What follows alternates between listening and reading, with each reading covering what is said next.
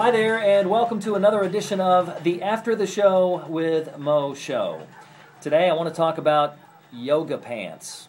I was at the grocery store yesterday and I saw no less than three women in yoga pants, and my guess is they didn't all three just come from yoga class. In fact, it seems to be the style these days. I've gone on the internet and I found some examples for you. Uh, this is a woman just standing around in public with pair of yoga pants on. See, she has her Ugg boots on.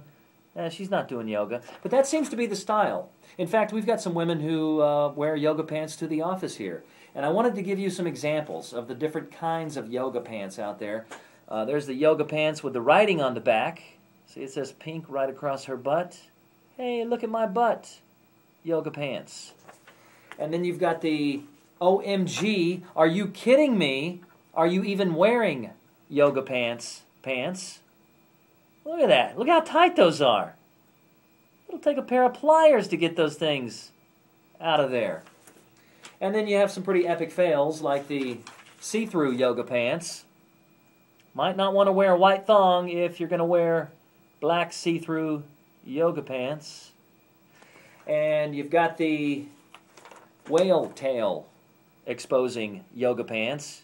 Yep, I'm going to let my underwear stick out of the top of my yoga pants. And by the way, where did she take this photo? If you look right there in the corner, you can see some uh, beef franks from Nathan's and some Coca-Cola in the back there. She must be in her pantry taking this photo.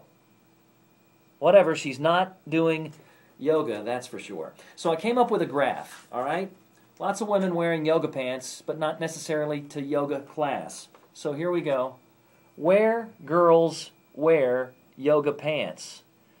That small sliver right there represents yoga class, and the other area, not yoga class.